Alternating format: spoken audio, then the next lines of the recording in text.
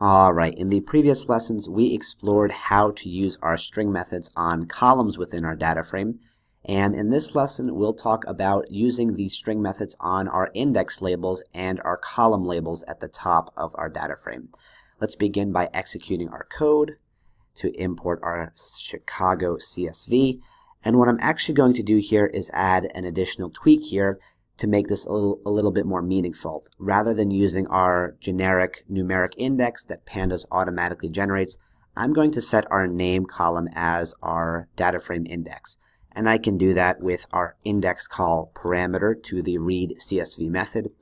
To that parameter, I can give an argument of a string with a column name. I'm actually going to use the name column on our left here and once I add this little chunk of code in, it's going to set this column as our index.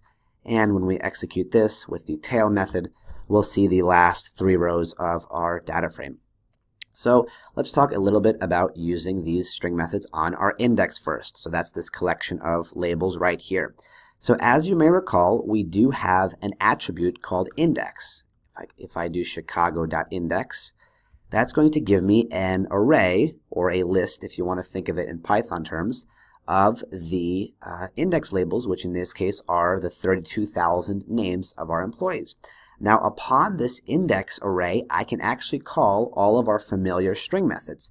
And it's going to be the exact same as when we call them on regular columns. We just have to remember to include that .str prefix. So let's say I want to begin with the method we introduced in our last lesson, strip, so I'm going to do .str.strip. That's going to ensure that there's no white space at the beginning or end of each of these names. And after that, I'm going to method chain by calling another string method. So I have to do another .str. And then I'm going to call title, which as a reminder capitalizes the first character of every uh, word, so to speak, within a string. It isolates these words based on spaces in between them and then capitalizes the first character. So I have to include a set of parentheses for my title method. And when I execute this, it's going to give me a preview of the new array where all of the values within my original index have had those two operations performed on them. Now that I'm satisfied with this preview and how it looks, I can reassign it back to the index. And in, order to do that, all I have to do is put an equal sign and assign this right back to that attribute. So chicago.index and I'm going to overwrite it with what I generate on the right. Now again, this may be a little bit confusing because we have Chicago index equals Chicago index. But remember that everything on the right side of the equal sign takes place first. So it's going to begin at this point where we have uh, Chicago being a data frame with a regular capitalized index.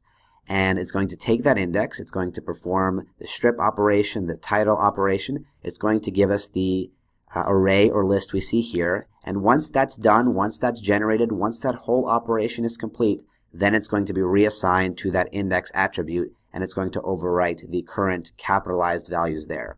So if I execute this line of code and then preview, let's do the first three rows with the head method.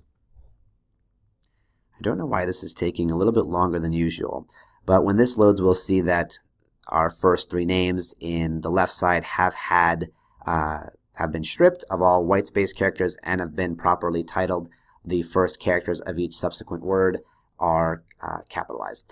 And the exact same process applies to columns. We'll just have to use the columns attribute. So I have three columns and I can extract them in an array with our columns attribute. There I have position title, department, and employee annual salary. Let's say I want to capitalize all of these. I'm going to call the upper method as with the index, we do have to include that str prefix, then the name of the method that we want, we want to call, which is upper.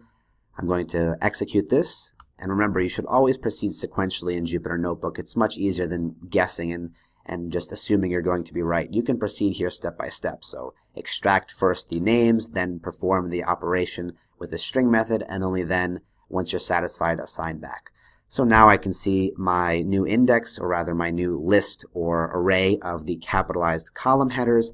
I'm happy with that, so I'm going to copy this and just assign it back to that columns attribute. Again, this is going to take place first. The right side is going to generate my new array, and then I'm going to take that array and use it to overwrite my existing column name values.